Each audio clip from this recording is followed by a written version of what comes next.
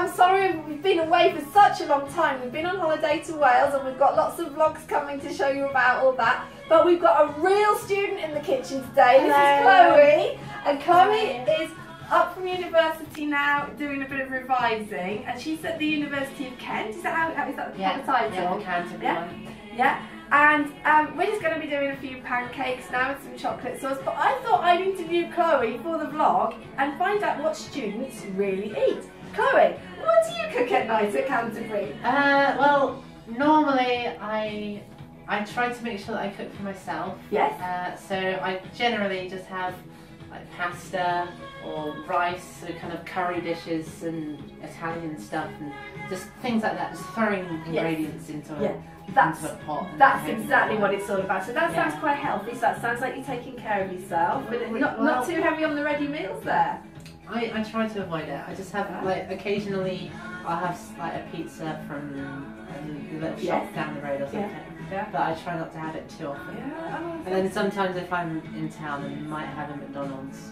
But that's yeah. not not Yeah. you know maybe not uh, maybe not every every week. No, that's but-. Yeah, yeah, we'll be there. Yeah, yeah. So that's that's really good. So I'm going to make pancakes now for uh, Catherine and Chloe, and probably James as well, and uh, we'll show you how those turn out. Bye. Sorry. Okay, viewers. So to go with the pancakes, I'm going to show you how to make a really nice homemade chocolate sauce. I've got about two thirds of a bar of Bournville here.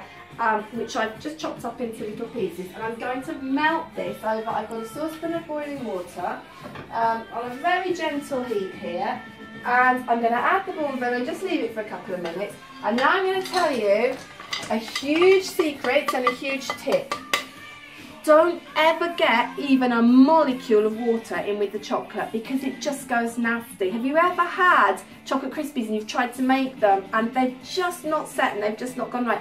Chances are you didn't quite dry the bowl up properly or you splashed a bit of water in. So that is a bone dry bowl and I'm going to stir the chocolate in a minute with a bone dry spatula. I'm going to use a wooden one um, and we're going to add some double cream to that and make an absolutely luxurious sauce to go with the pancakes.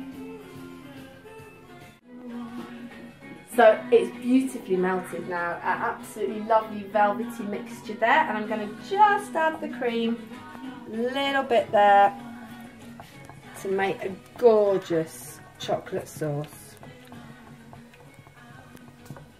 Look at that. How lovely is that? Add a little bit more. Oops, bit of a spill there.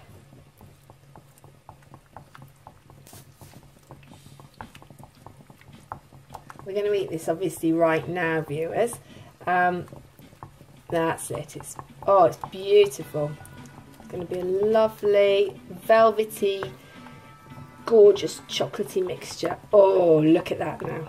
There we are. Perfect chocolate sauce to go with our pancakes.